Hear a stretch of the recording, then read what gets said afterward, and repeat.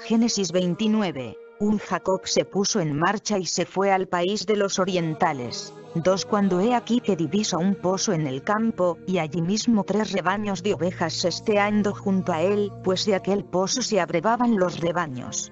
Sobre la boca del pozo había una gran piedra. Tres allí se reunían todos los rebaños. Se revolvía la piedra de encima de la boca del pozo, abrevaban las ovejas, y devolvían la piedra a su sitio sobre la boca del pozo. 4 Jacob les dijo a los pastores, Hermanos, ¿de dónde sois?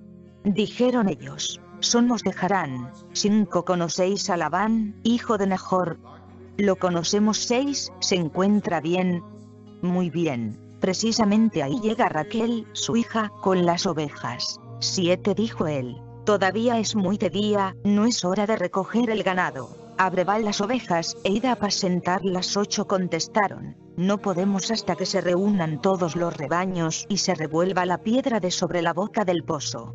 Entonces abrevaremos las ovejas. 9 Aún estaba él hablando con ellos, cuando llegó Raquel con las ovejas de su padre, pues era pastora. 10 En cuanto vio Jacob a Raquel, hija de Labán, el hermano de su madre, y las ovejas de Labán, hermano de su madre, acercóse Jacob y revolvió la piedra de sobre la boca y abrevó las ovejas de Labán, el hermano de su madre. 11 Jacob besó a Raquel y luego estalló en sollozos. 12 Jacob anunció a Raquel que era pariente de su padre e hijo de Rebeca.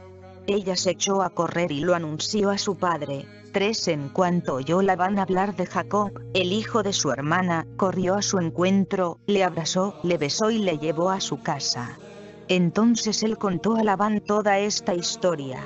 14 Y Labán le dijo, en suma, que tú eres hueso mío y carne mía, y Jacob se quedó con él un mes cumplido. 15 Labán dijo a Jacob, ¿acaso porque seas pariente mío has de servirme de balde?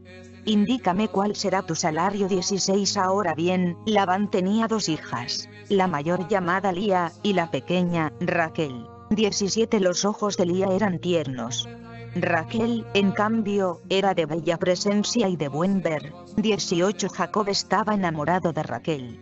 Así pues, dijo, te serviré siete años por Raquel, tu hija pequeña 19 dijo Labán, mejor es dártela a ti que dársela a otro quédate conmigo. 20 sirvió, pues, Jacob por Raquel siete años, que se le antojaron como unos cuantos días, de tanto que la amaba. 21 Jacob dijo a Labán, dame mi mujer, que se ha cumplido el plazo, y quiero casarme con ella. 22 Labán juntó a todos los del lugar y dio un banquete. 23 Luego a la tarde tomó a su hija Lía y la llevó a Jacob, y éste se unió a ella. 24 Labán dio su esclava Silpa como esclava de su hija Lía. 25 Se hizo de mañana, y resultó que aquella era Lía.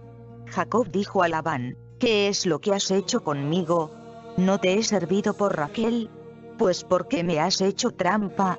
26 Labán dijo, no se usa en nuestro lugar dar la menor antes que la mayor. 27 cumple esta semana, y te daré también a la otra por el servicio que me prestarás todavía otros siete años 28 Así lo hizo Jacob. Y habiendo cumplido aquella semana, le dio por mujer a su hija Raquel. 29 Labán dio su esclava Belá como esclava de su hija Raquel. 30 Él se unió también a Raquel, y amó a Raquel más que a Lía, y sirvió en casa de su tío otros siete años más. 31 vio Yahvé que Lía era aborrecida y la hizo fecunda, mientras que Raquel era estéril. 32 Lía quedó encinta y dio a luz un hijo al que llamó Rubén, pues dijo, Yahvé ha reparado en mi cuita, ahora sí que me querrá mi marido 33 concibió otra vez y dio a luz un hijo, y dijo, Yahvé ha oído que yo era aborrecida y me ha dado también a este, y le llamó Simeón 34 concibió otra vez y dio a luz un hijo, y dijo, ahora, esta vez, mi marido se aficionará a mí, ya que le he dado tres hijos por eso le llamó Levi.